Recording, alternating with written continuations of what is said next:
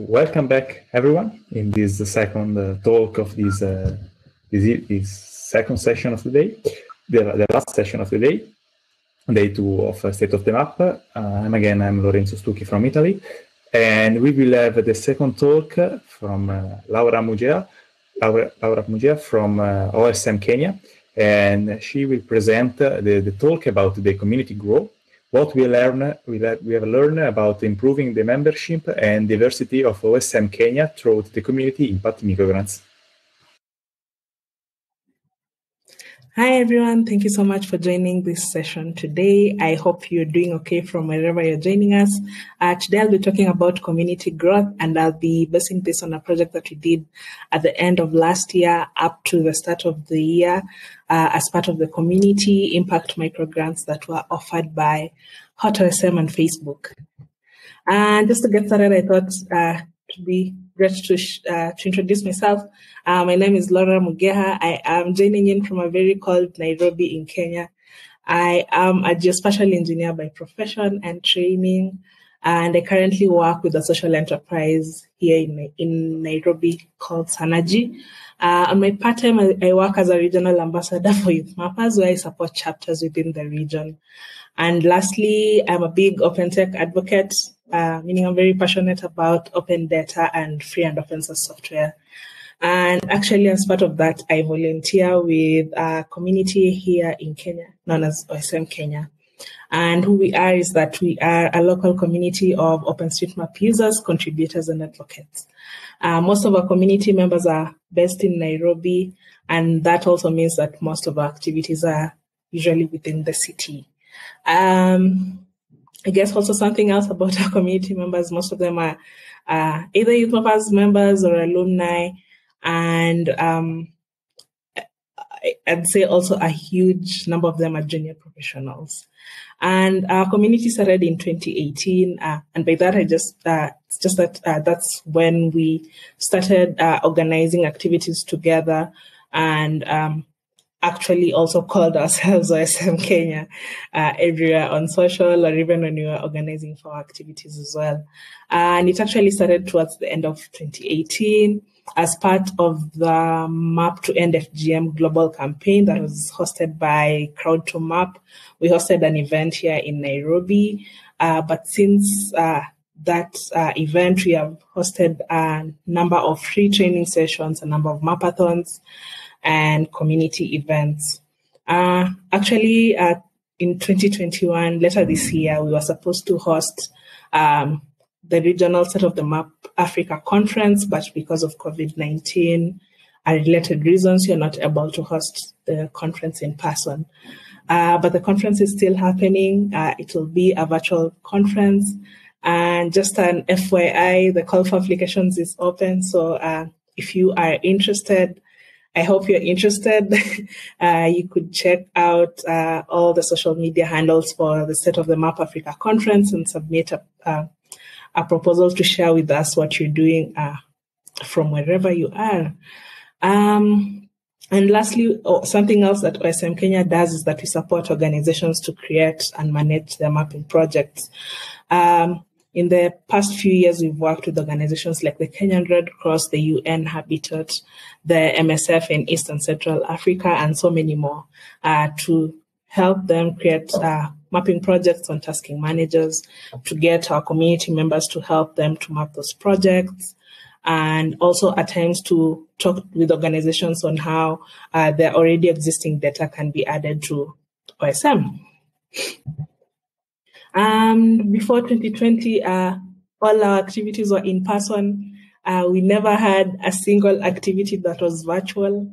So um, we would meet uh, for either a mapathon, for a training session, for even uh, general events where different organizations would share with us uh, what they're working on and what they're doing, uh, not just in the OSM space, but in the open data space in general. And uh, so when 2020 uh, happened and the all, all that we could see were lockdowns and restrictions on gathering, which was, uh, I think, is essential and important for everyone. Um, what this meant for us is that we had to shift all our activities um, from an in-person setting to a virtual setting. So uh, all this was like a 360 shift for all of us. And we had no idea how to get started and um, how to go forward. So uh, that actually brought up a lot of confusion and uh, I guess some uh, moments of figuring things out. And one of the topics that we were talking about at that time was on community sustainability. But this was not a new um, topic or, or, concept for us. It's something that we had talked about uh, for a very long while because um, uh, we always wondered um, on how the community could become more sustainable so that uh, over periods of time we are getting new members over periods of time we're getting new community leaders to help out um, in terms of uh, organizing and coordinating activities and um, for us i think uh, community sustainability just means the ability for a community either online or offline um, i guess online because mainly because of 2020 um, to, uh, and it's uh, yeah, so it's the ability for community uh, to be able to serve uh, value to its uh, present and incoming members over time. And uh, while talking about community sustainability, it's essential uh, to consider or be aware that um, that com- communities only exist because of people, because um, it's possible for everyone to contribute individually from their homes, from their workplaces, but uh, communities then provide spaces for people to work together, for people to network, and uh, we get to even do so much more through communities. So uh, that is one thing that we um, we were making sure, even as we were talking about uh, sustainability, so making sure that everything um, is actually people centric and not uh, any other way around. So, um, as we were thinking about this, we had four focus areas. So, uh, the first one was community definition. So, uh, it might sound simple, but uh, we're just wondering uh, to our members um, and even uh, to the to the community leadership committee, uh, like how do we define the community? Um, on like what what the community is, who who the community is made up of, and what's what's the community structure, and also lastly where where we are. Uh, I think for us it, it is it is still important, and it was important to figure uh, what this is, and also trying to see is this uh, synonymous for everyone. Um, um, so, because at, at, times it's it's it's very possible for people to have different different definitions for for all these things. And what this would help us as well is even as we continue advocating for SMUs locally, uh, it was important that as we share all this info, uh, it's uh, important for everyone to sort of have the same understanding of what the community is. And even as we are getting new members, it's important to know for someone to know what they are getting into and if their uh, sort of expectations would be met at the end of it. Um, then the second thing was on community value. So uh, on this, it was just, just figuring out like what's our mission, uh, what do we actually do um, and are the things that we're doing actually helpful to to uh, the community in general and also to its members. Uh, also, just trying to figure out out of all these activities what's important and what what's not important. Um, but then, as well as we ensure that community uh, communities are made of people, so uh, we're also wondering what are our members um, expectations? What do they value as well? Are we actually meeting the needs um, of of all our members, or um, through our activities, or our activities actually not aligned with what uh, community members need? Then the third focus area was on community di- diversity. So, uh, wondering as well how diverse and inclusive is the community uh, in terms of membership, in terms of leadership and activities. So, and in terms of diversity, it was not just uh, uh sort of gender, gender, um, gender diversity, but also uh, things even when looking at membership uh, do we have individuals? Do we have organizations? Because there are also a number of organizations that are actively contributing to OpenStreetMap. And do we have structures that are allowing for uh, all these people to join the community? Um, and are they able to openly and safely participate? So, uh, on the spaces that we have created, uh, both online and offline, are they accessible? And is anyone who's interested able to join in and contribute uh, in one way or another. Uh, then the last thing was on community growth. So um, we're just wondering also for this, uh, do we have a process to check uh, if we are meeting our objectives and are we able to sort of assess and say if we are doing okay or not uh, as a community? And if we have also uh, initiatives that would help us see where we are not doing so well and be able to improve on those uh, aspects. But also still looking at um, our individual members, uh, we're also wondering, do we have plans and initiatives that have been have been put in place to make sure that uh, all our members are learning and growing? And lastly, we are also looking at community collaborations. Are we co- collaborating with other communities, either if it's in the mapping and GIS space, or generally any communities that have the same values as ourselves? Um, and uh, after we had our focus areas and we knew what we needed to find out, we then uh, set out to get this information from both our um, our community members and our community leaders. Uh, also, this we so what we did is that we created an online form that we shared. Um, to our community members uh, to get their feedback and their insights as well. So, uh, and what we wanted to get from this, uh, in as much as we had those focus areas, the main thing uh, was to understand um, individual thoughts and expectations of each community member and then um, also trying to get ideas on how we would shift all our activities into a virtual format. So are people still interested in the same things? Are people still interested in training sessions? If so, um, do people have an idea of uh, which sessions they would like to see or what aspects they would like to be trained on?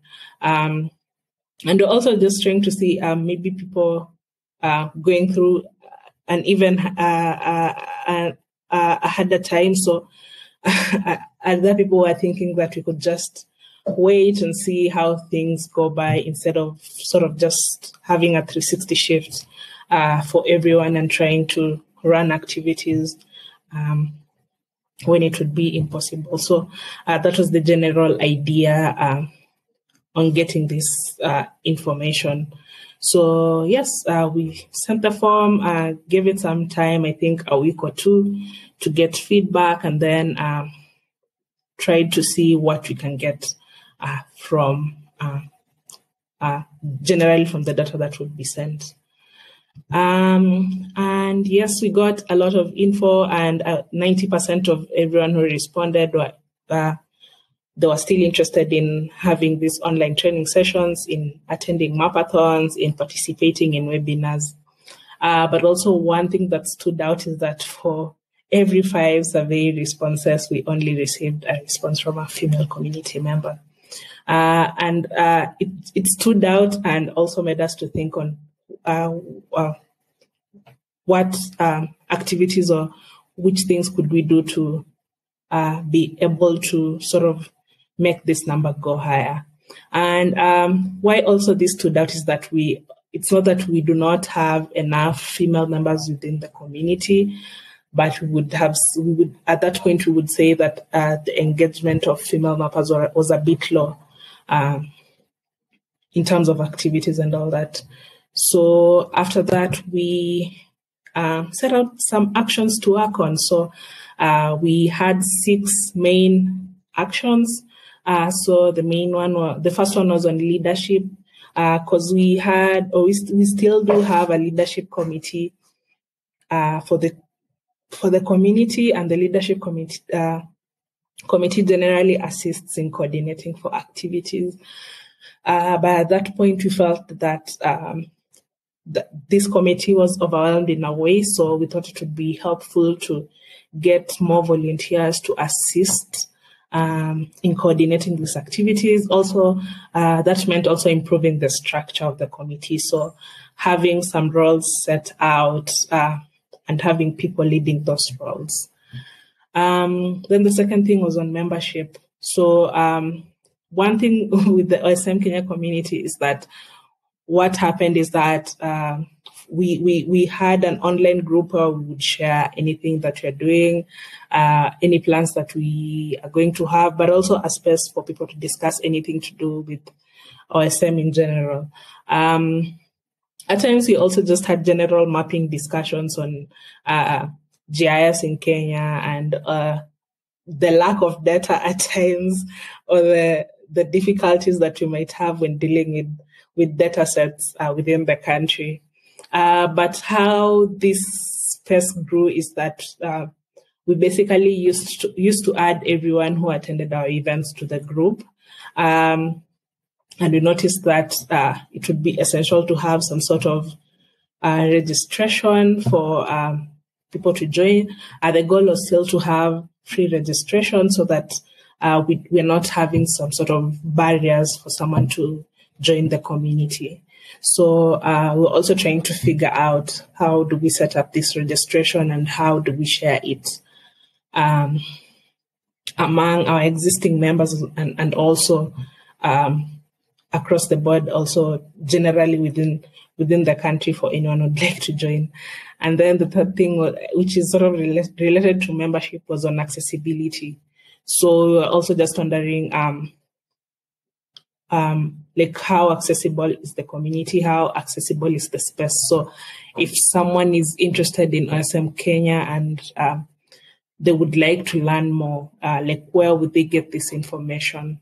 So uh, that's when we also started thinking about having uh, some public pages, like wiki pages that define what the community is, we are, and everything. If there's online spaces, how to join them, and even talking about the registration that I was talking about previously, like probably would be hosted there.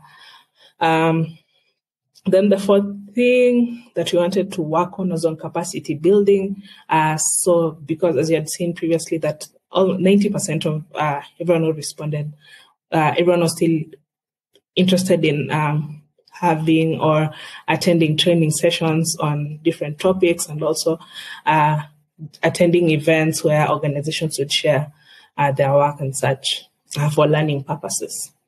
Then the second last thing was on diversity. So uh, we also set out to have some activities to improve the community diversity. Um, then the last thing was on geographical coverage. So to have activities and also to engage people out of Nairobi. Uh, yeah, so those were the six main actions that we set out. And yes, we made a, an initial attempt. Uh, so I'd say the first thing is that we had a lot of sessions to discuss all, uh, all these results and also trying to see how we can translate uh, these survey results into goals. Then the other thing is that we also added uh, a number of volunteers um, to to the leadership committee to support um, in all the extra roles that um, the leadership committee undertakes in terms of organizing for activities. Then we began to also execute some of the actions that we had set out. So, say, for example, in terms of accessibility, having uh, more posts going out on social, um, and also having uh, everyone sharing more about the community and having more discussions and engagement on our platforms. And then lastly, we, we hosted our first webinar, but also our only webinar. Um, and I, I guess uh, what happened is that, uh, yes, we had the first webinar, uh, but the turnout was not as good. So I, I, guess for the for the leadership committee, uh, we were a bit disappointed, but I guess also at the same time, uh, also understanding that everyone is shifting generally in life uh, because of, of the pandemic and everything. So we thought of putting a hold on the webinar and everything around that. But also around this time, we're also actively organizing for, for the State of the Map Africa conference. Um, so uh, we, no, at the, actually at that time we, we were not. I, but I think we were we were writing the bid to host the conference. So I, I think the thought was to focus on um, on that and also focus on other activities that uh, are mainly focused on setting up things um, and then pushed a bit on hosting the webinars and uh, and everything else. So while we were at this stage, uh, that's when we learned about the community impact microgrants uh, that were um, to be offered by HotOSM and Facebook. One thing uh, as to why we were excited about this is because even as we had started to um, host all these webinars and training sessions, one thing that always stood out was the inability to join the sessions because of uh, uh, lacking uh, funds to to sort of get internet to join webinars because um, that could that usually takes a little bit more because um, it's basically video sharing. It's, it can actually be compared to video streaming. Uh, so we're always trying to see and figure out how, if we were able to sort of support our members in a way to be able to even join all the sessions that we want to have. Um, but also we were, we also had a number of um, projects uh, that we had always wanted to work on. Um, but I guess we always had like financial constraints to be able to carry out these projects. So when we saw the call for the community impact microgrants, we were excited about it. And also, uh, I would say being a microgrant, it, uh, it was a good place to start with. Uh, I would say it was a bit manageable. Um, yeah, and the goal of the microgrant, uh, generally by HotOSM and Facebook, is to help um, open mapping and open data communities uh, with resources that they might need to train volunteers and grow their activities, also to develop leadership skills uh, of local leaders and OSM communities. And lastly, to broaden how open mapping and data are contributing to solving uh, the challenges that we're facing on a daily basis. Um, and uh, also, one thing, I guess the other thing that we also loved about the, this is that their goals sort of matched with what we are trying to achieve. So let's just say it was a match made in heaven. um, yeah, so the project idea that was submitted was to uh, host a technical training program for uh, community members uh, so that you can grow the community.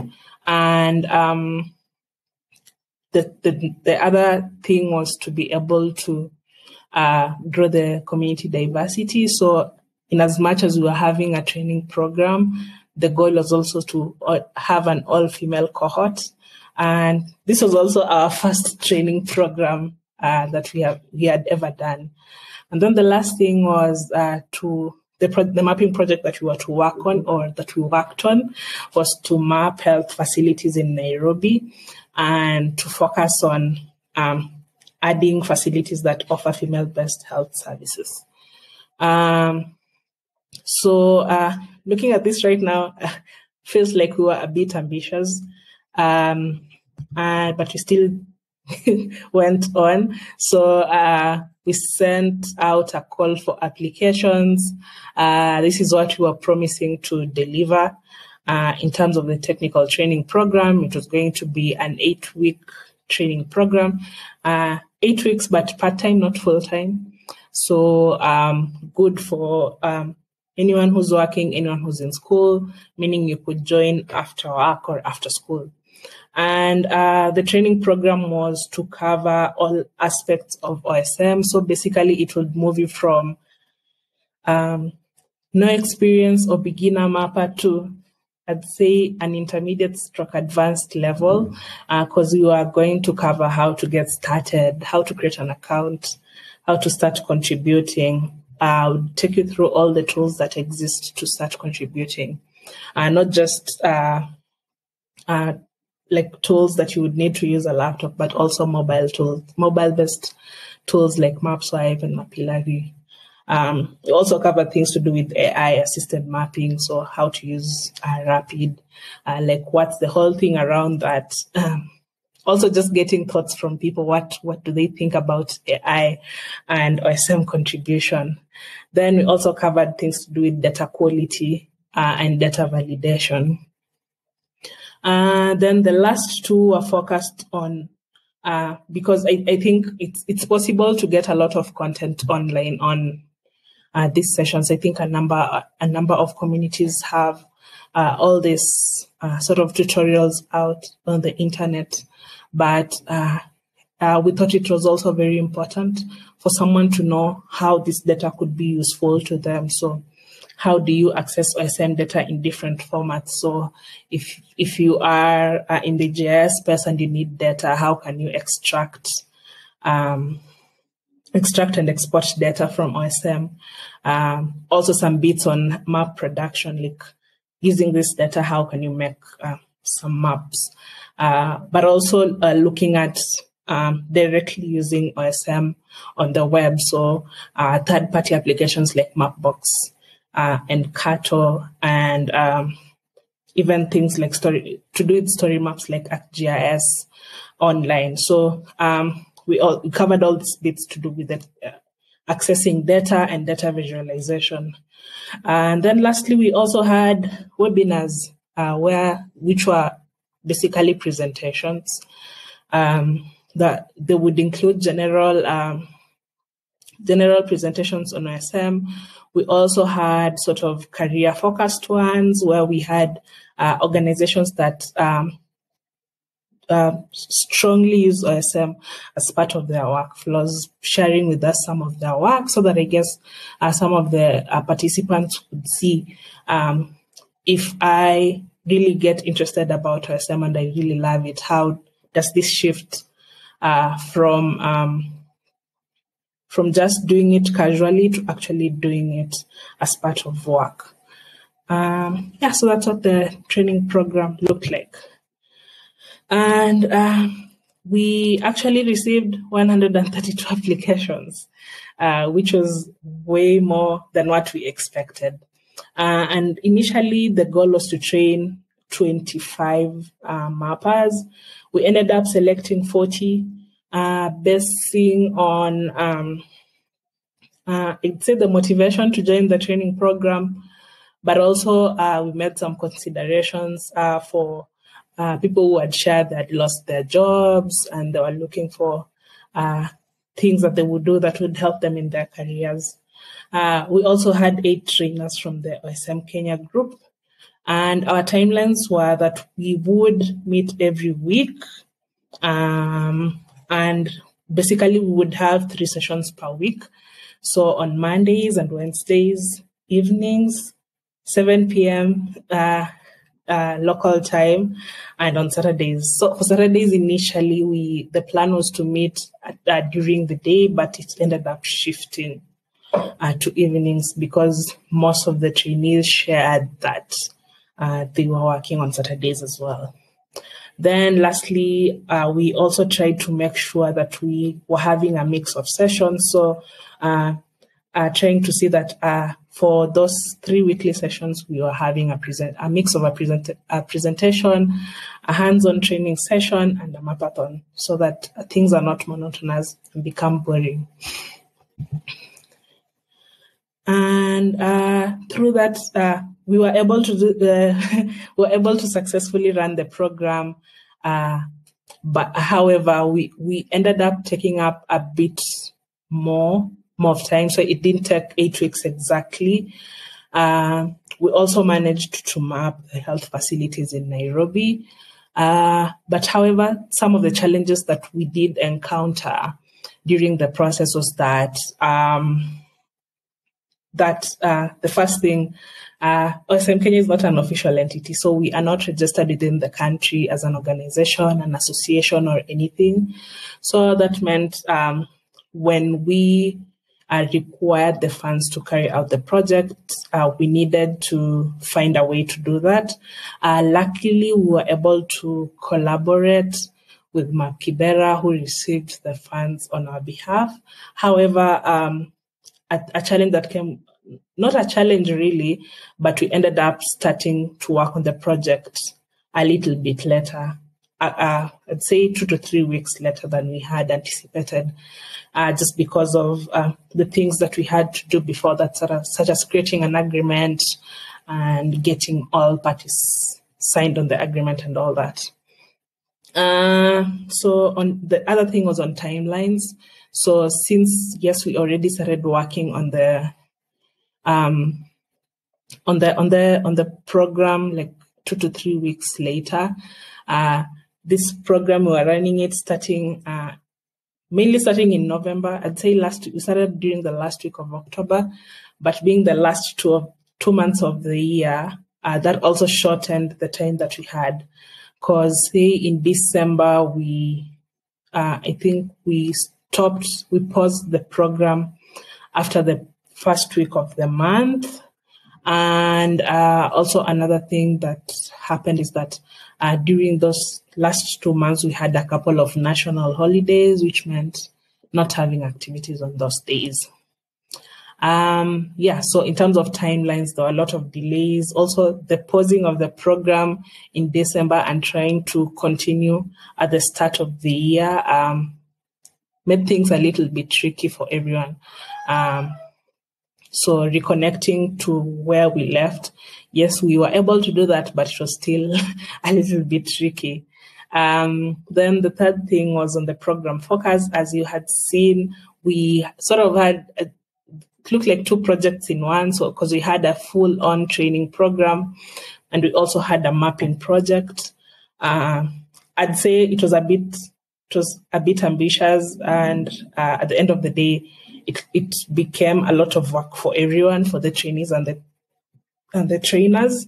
So, would totally recommend to do either or and not both if in future anyone would be looking into having a training program.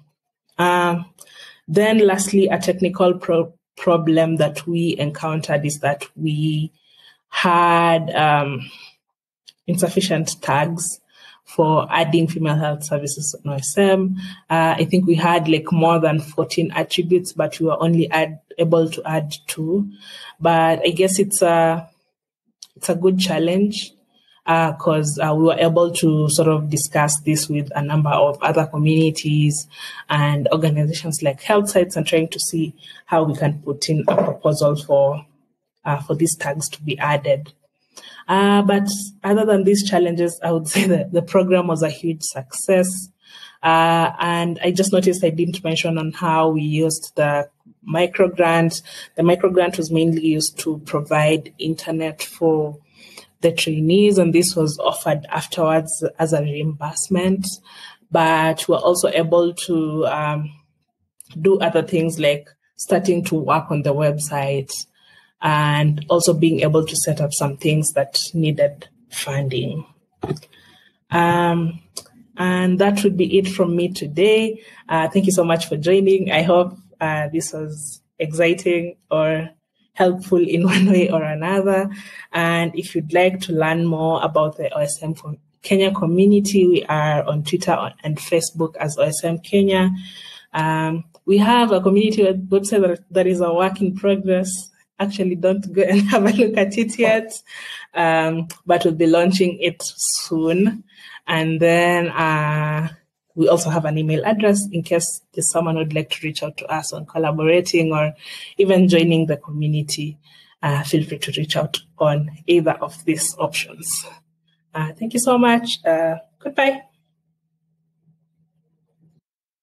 Thank you, thank you very much, Laura, for Laura for your presentation. Very interesting and very impactful for presentation, and also inspiring uh, presentation for uh, new people that maybe in new country or in new location would like to start a community, you I believe that you provide a very good example on how to do it. Some very important tips that were very of interest.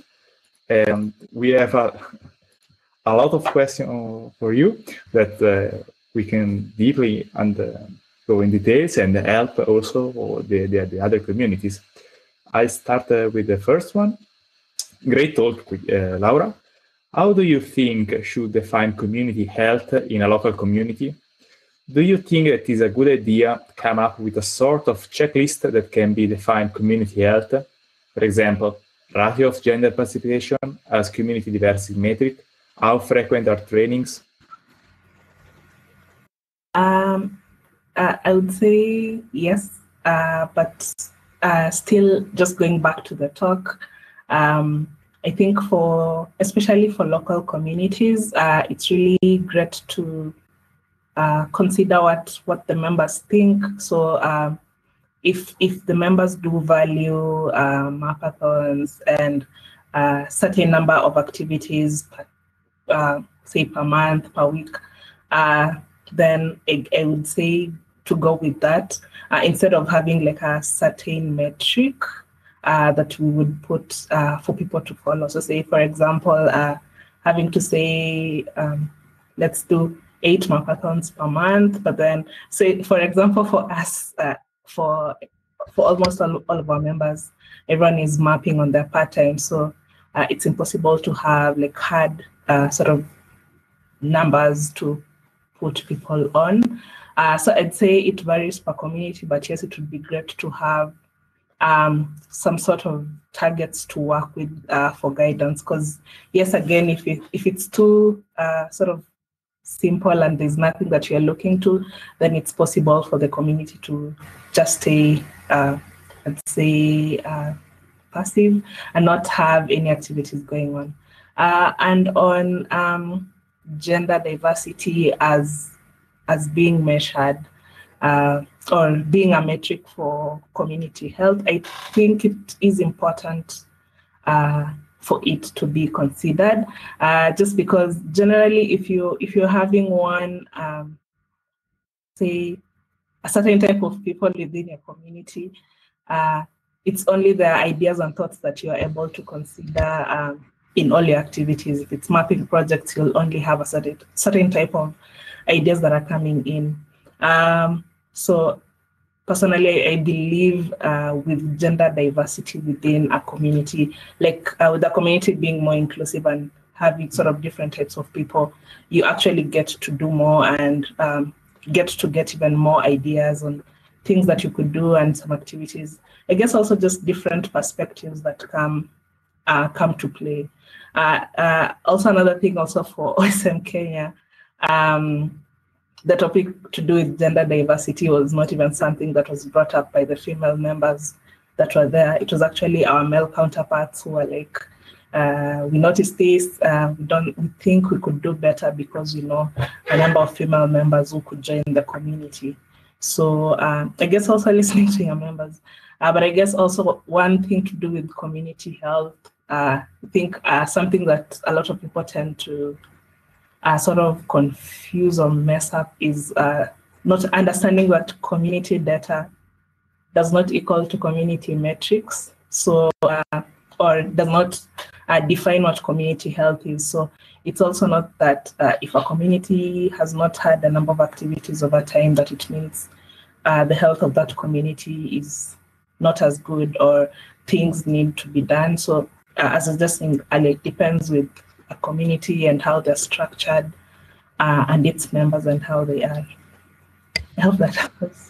Yeah, I believe that was a very deep, a deep uh, reply and with all multiple uh, aspects that, and uh, very important is also reply.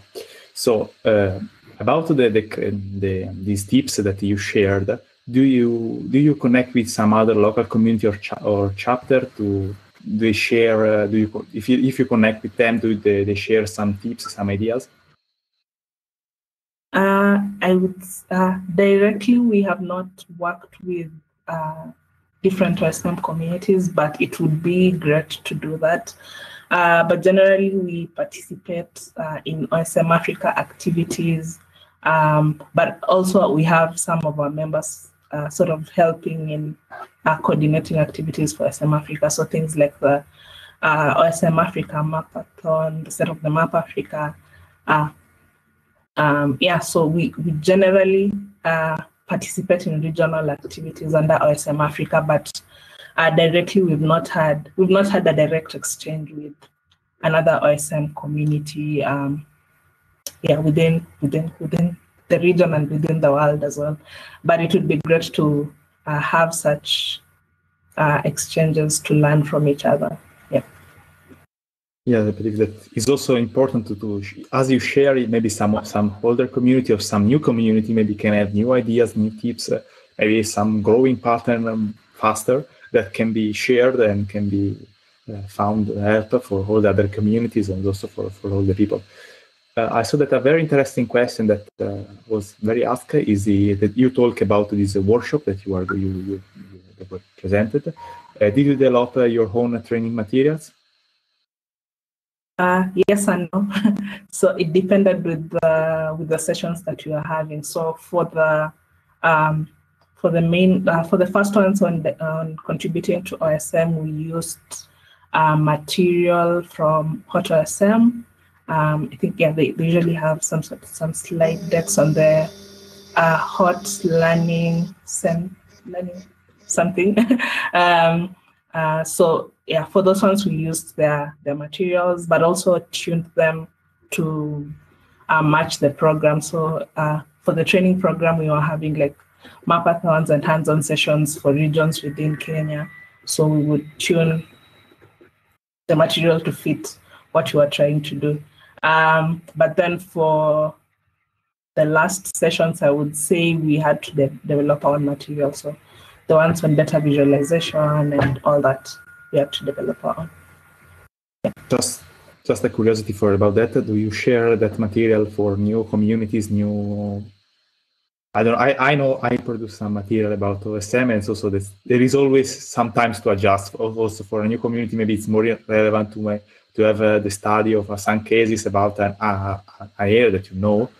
And but you do you share this material that you produce is somewhere uh, reachable for for other people? Uh, yes, we have the material, all the material uploaded. So uh, I can share a link on the on the, on the chat after this. Yeah, yeah. Or maybe they can write to you if they're interested and can be of interest. Yeah, sure. Another interesting barrier that, uh, and sorry, another interesting question that was posed is about the, the language barrier. So, uh, you is, is, there a language barrier using English and including tech language is in OSM Kenya? If yes, how do you try to close this gap? So uh, uh, no, because uh, because uh, yeah, in, in Kenya we we we speak in English and in Swahili, but also there are a bunch of uh, uh, tribal languages.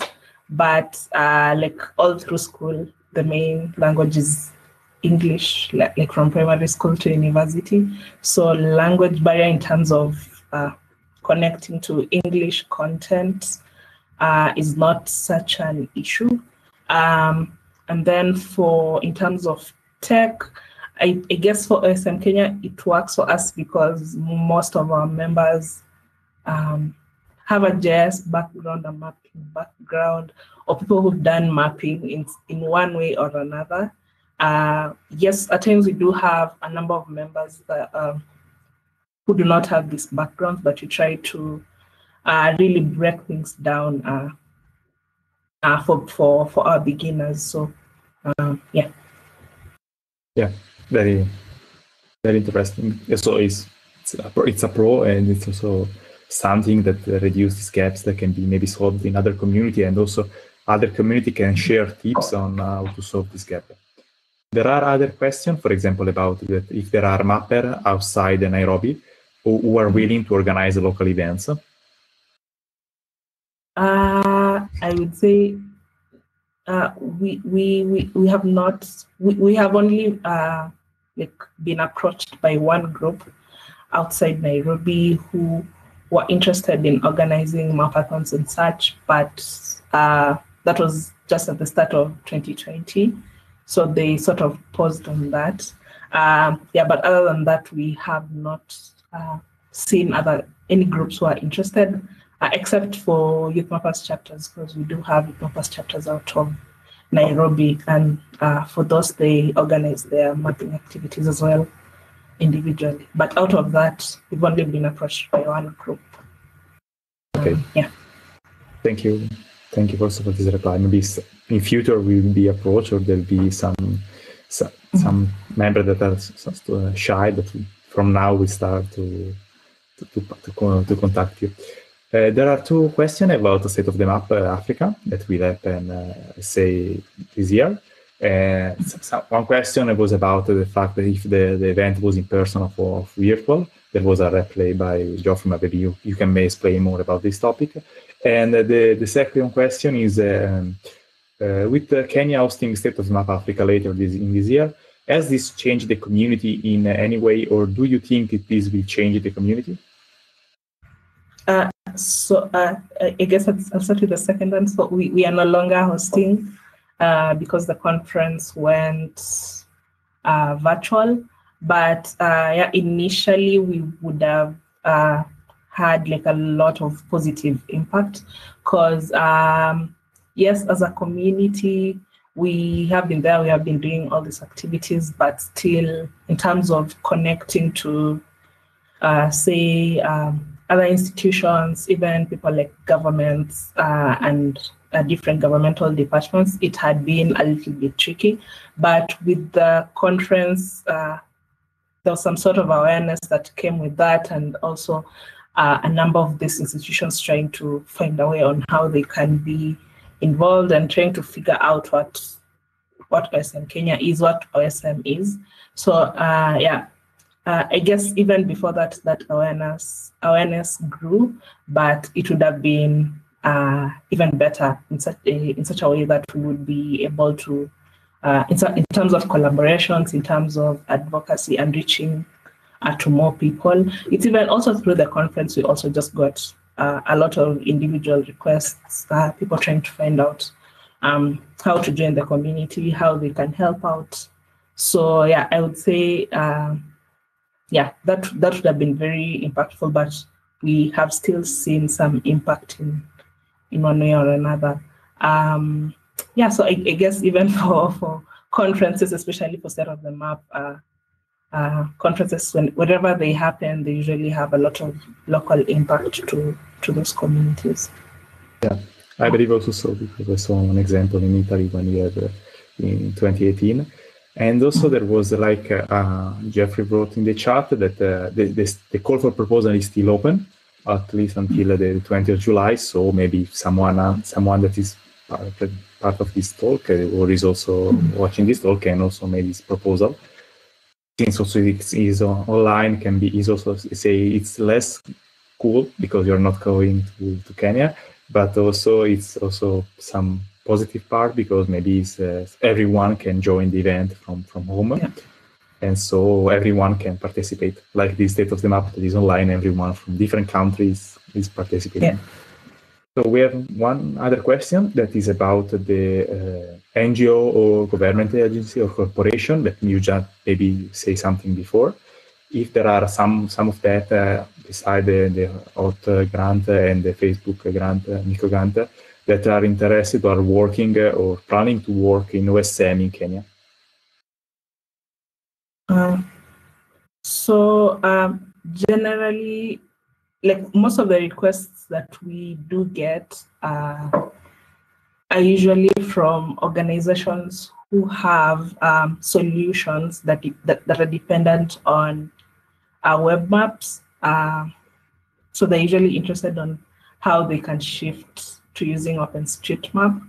Um, but uh, I, I, guess what's interesting is that uh, for all this, like uh, for the people that have approached us, they're, they're not really looking into sort of supporting contribution per se, but sort of learning how they could use the platform.